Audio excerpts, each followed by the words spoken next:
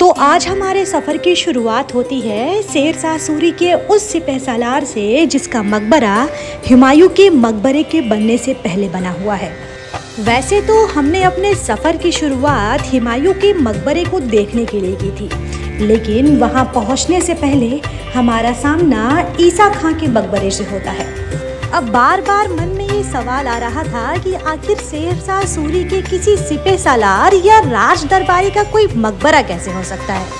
लेकिन हम जिस शख्सियत के बारे में यहाँ पढ़ने वाले थे, वो कोई आम शख्सियत नहीं थी। ना वो शेरशाह सूरी का कोई आम राज दरबारी था। ईसा खानिया जी शेरशाह सूरी का वो राज दरबारी या सिपह सालार था, जिस पे चढ़कर शेरशाह सूरी ने मुगल शख्सियत की तरफ़ देखने की हिमाकत की थी।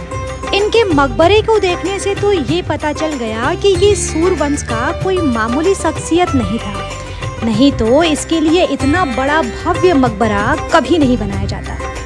वैसे तो ईसा खान नियाजी का जन्म सन चौदह में हुआ था, लेकिन उनकी मृत्यु 1548 में पंचानवे वर्ष की आयु में दिल्ली में ही हुई थी। ईसा खान का मकबरा दिल्ली में दूसरे मुगल सम्राट हुमायूं के मकबरे के बनने से करीब 20 साल पहले बना हुआ है। अब सवाल ये पैदा होता है कि आखिर इनके मकबरे को बनवाया कौन था? तो यहाँ हमें एक हैरत कर देने वाली बात जानने को ये मिली कि इस मकबरे को ईसा खान नियाजी ने खुद अपने जीवन काल में ही बनवाया था। इस मकबरे के दीवालों के झरझराते हुए पत्थर कहीं ना कहीं इस इतिहास की गवाही देते हैं कि इसको इंडो इस्लामिक पैटर्न पर ही बनाया गया था। यहाँ की कैनोपीस चमचमाते हुए टाइल्स और ये जालीदार खिड़कियाँ इस मकबरे के भव्यता को और ज़्यादा निखार दे रही थी।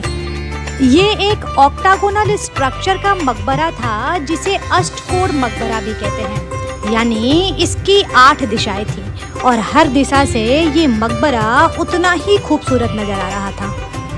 अब वक्त आ चुका था कि हम इस इमारत के अंदर जाके देखें कि आखिर इस इमारत के अंदर ऐसी कौन कौन सी चीज़ें हैं जिसको देखने के लिए लोग बड़ी बेकरार थे। तो जैसे ही हम इस मकबरे के अंदर अपना कदम रखते हैं, वैसे ही हमारा इस्तकबाल ये लोहे की जंजीरें करती हैं, जो यहाँ के दरवाजे पर लोगों का इंतज़ार कर रही थी। जैसे ही हमने इस मकबरे के अंदर झांका तो हमने पाया कि यहाँ कब्र बनी हुई थी। पता चला कि ये बीज वाला कब्र खुद नियाज ईसा खान का था और इसके अगल बगल वाली कब्र इनके खानदान के लोगों की थी। इस कब्र में थोड़ा अंधेरा था और झरोखे से धीमी धीमी रोशनी इन कब्रों पर पड़ रही थी। इसी मकबरे के सामने एक यहाँ पे छोटा सा मस्जिद भी बनाया गया था। ये मस्जिद ईसा खान नियाजी ने खुद अपने लिए बनवाया था। वो यहाँ सुबह शाम नमाज़ अदा किया करते थे। इस मस्जिद को दो पत्थरों को मिलाकर बनाया गया था। एक था रेड सैंडस्टोन और दूसरा था येलो सैंडस्टोन जिसके निशान आपको इस मस्जिद के हर एक हिस्से में दिख जाएँगे। ईसा खान नियाजी के मकबरे का अगर सबसे बेहतरीन नज़ारा कहीं से दिखाई दे रहा था तो वो था इस मस्जिद की फर्श से। सबसे बेहतरीन नज़ारा इसी जगह से दिखाई दे रहा था।